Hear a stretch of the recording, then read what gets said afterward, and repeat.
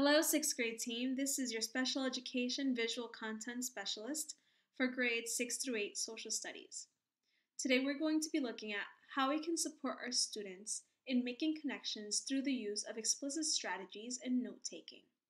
This video is aligned to the sixth grade curriculum in Passport to Social Studies.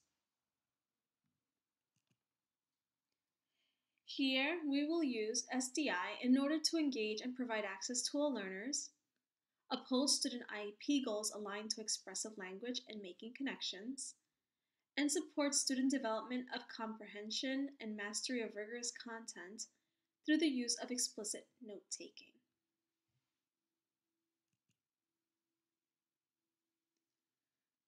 Upon your implementation of this note-taking strategy, your students will be able to apply note-taking strategies that will support in visual processing, developing background knowledge, and building connections on grade level topics.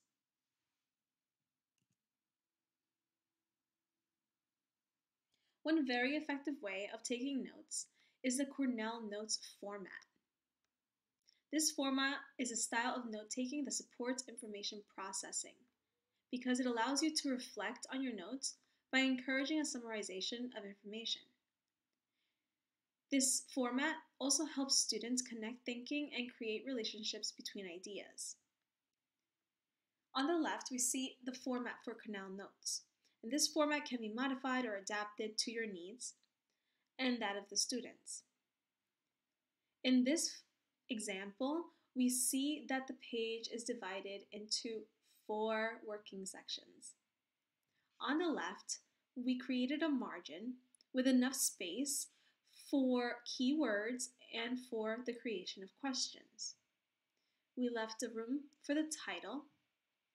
Usually it's the topic that you're going to be um, taking notes on, the date, and lots of room for quick notes, abbreviations, key thoughts, and takeaways. On the very bottom, there is a section for a summary. Cornell Notes is a note-taking format that supports information processing. Therefore, it reinforces accountability so that the students are able to then demonstrate what they have learned. Cornell Notes also reinforces observation and inference skills as well as critical thinking. It also supports executive functioning aspects connected to organization.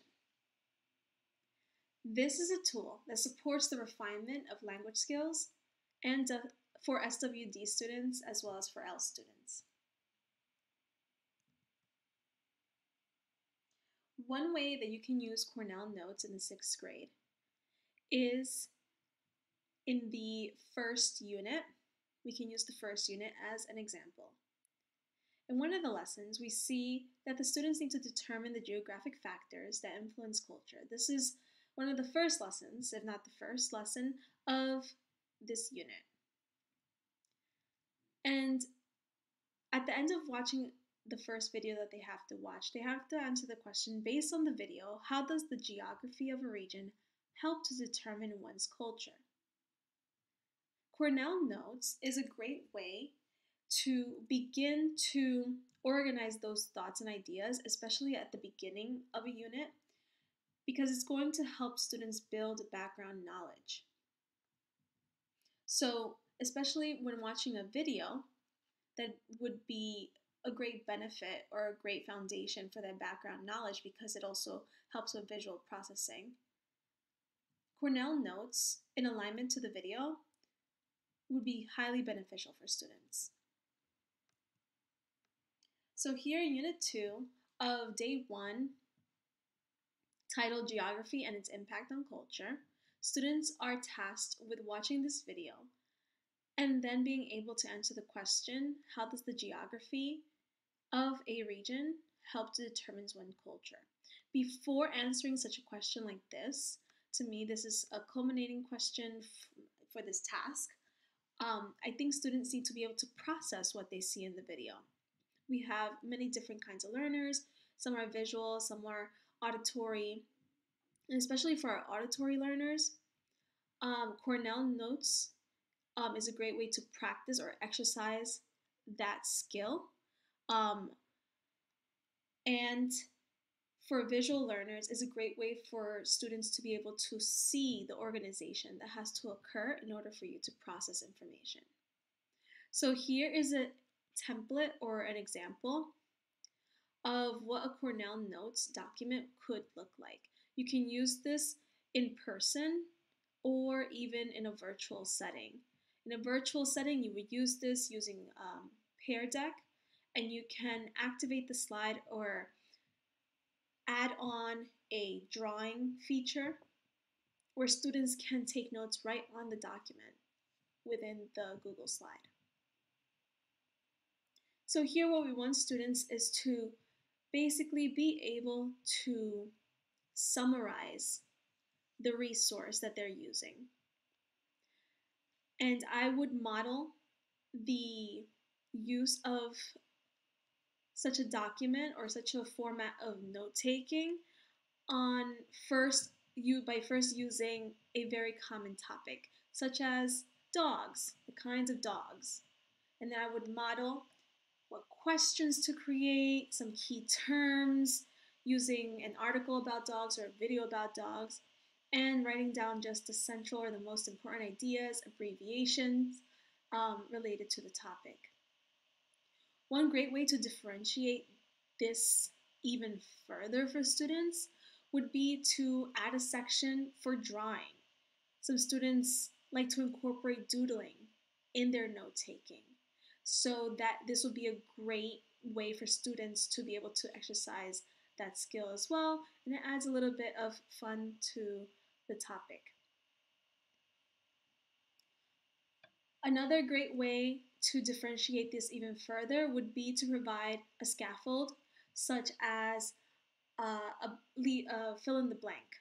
So having them still input that important information while filling in the blank of a sentence or a phrase or the word with the given definition they're still taking notes and it's the most important information, but now they're receiving that support, um, especially for students who have difficulties with fine motor skills. Um, and being able to write too many notes would probably be difficult for them.